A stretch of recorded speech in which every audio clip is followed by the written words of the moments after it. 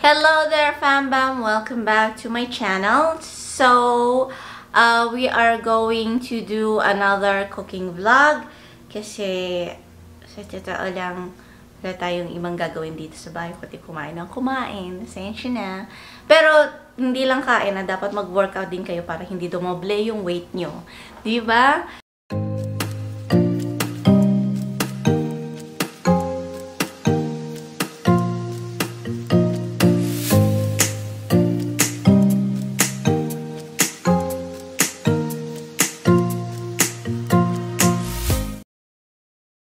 So, hello everyone! Welcome back again to another cooking vlog.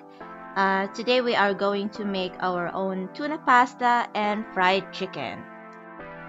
So here are the ingredients that I'm going to use. Uh, for my pasta, I will use one pack of good spaghetti.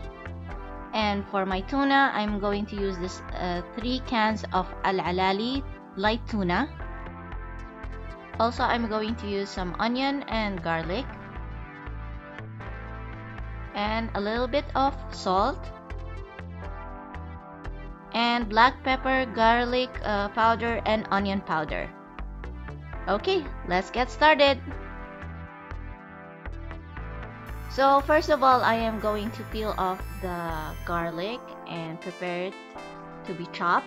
I really love garlic in most of my dishes, so I think I used almost 8 to 10 uh, cloves of garlic. Next, uh, I will peel off also the onion and prepare it to be washed and chopped as well. So here I added the garlic and onion into my food processor. Uh, actually, this is my go-to method to avoid crying while chopping the onions.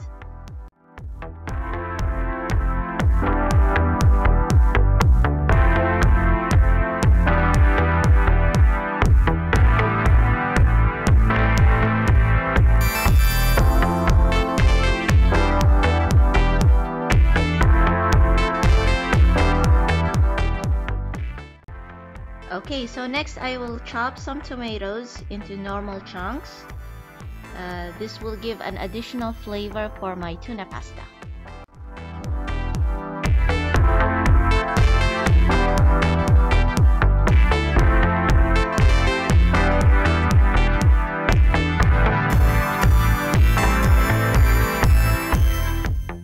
So now we're going to start cooking. Uh, first of all, I'll be adding the oil of the tuna into the pan. This oil is really rich of uh, tuna flavor, so you have to take advantage of it by using it as the oil which you're going to cook the onion, garlic, and tomato with.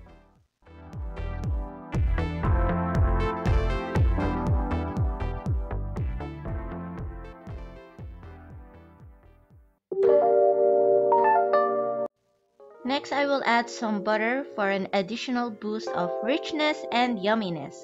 Let's be honest, who doesn't like butter in their recipe? Now we will start adding the minced onion and garlic and cook it for a minute or two. Just please be careful that you need to keep an eye on it because the onion and garlic burns really fast and I really don't like the burnt taste that uh, appears in my pasta.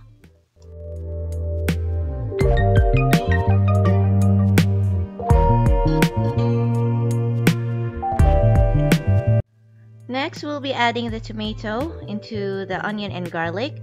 When it is soft or cooked through, try to press the tomato to release its natural juices.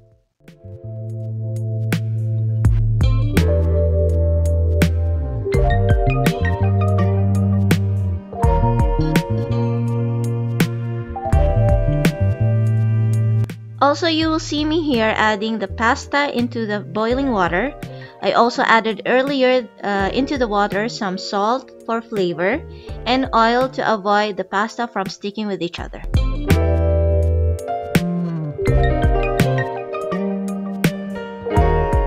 So now I am adding the tuna into the pan. I try to break the tuna into smaller pieces to give it a smoother finish and to allow it to stick to the pasta when we add it all together.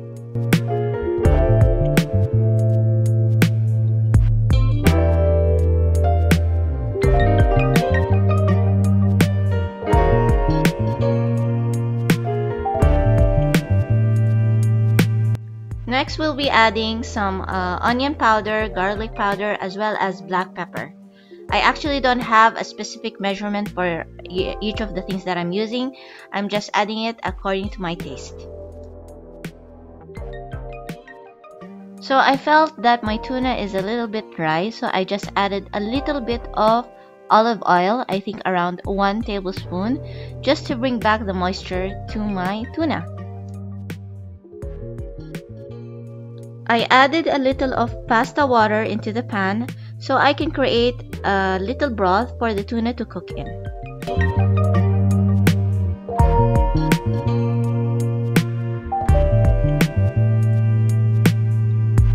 I also added magic sarap into my tuna because we are Filipinos and we use this seasoning almost in everything that we cook.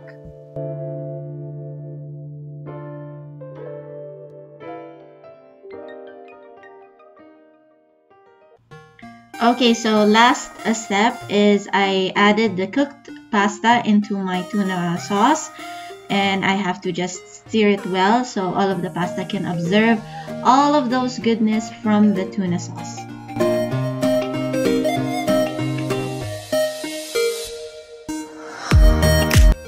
So here guys is the final product. I hope you like it. Give it a try.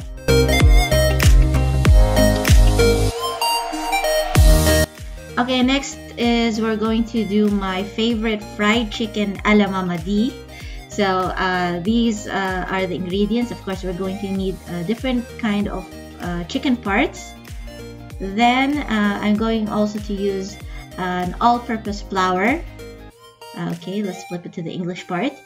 Yes, that's the one and I'm going to use also uh, this garlic chicken wing sauce. You can find it in most of the supermarkets. And I'm also going to add come on focus. Yes uh, the uh, chicken seasoning. I got this from Carrefour. And of course I'm going to use some black pepper. And let's not forget of course we're going to add some salt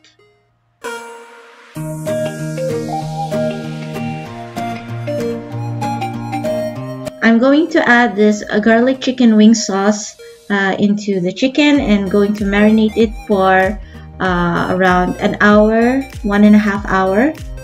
Uh, this will give the chicken this uh, garlicky flavor that I really really like.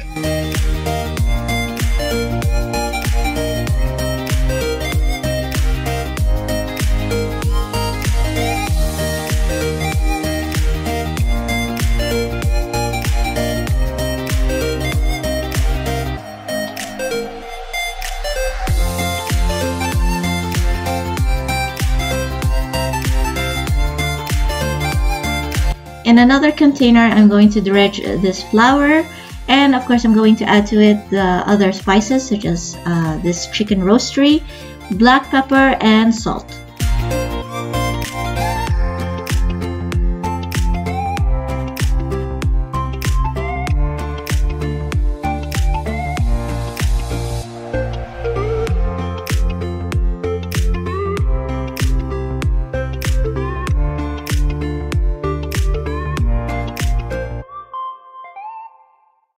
So I already heated the oil and now I'm just going to add the chicken into the flour mixture that we made earlier and I'm just going to fry it until it's going to be golden brown.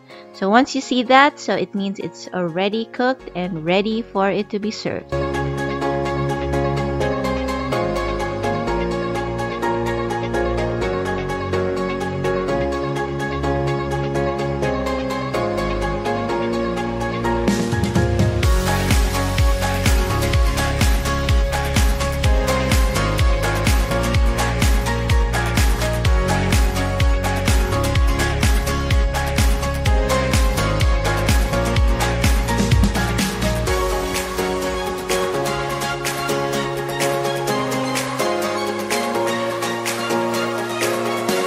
So guys, this is the final product. I hope you guys enjoyed. Don't forget to thumbs up this video and I'll see you in my next one.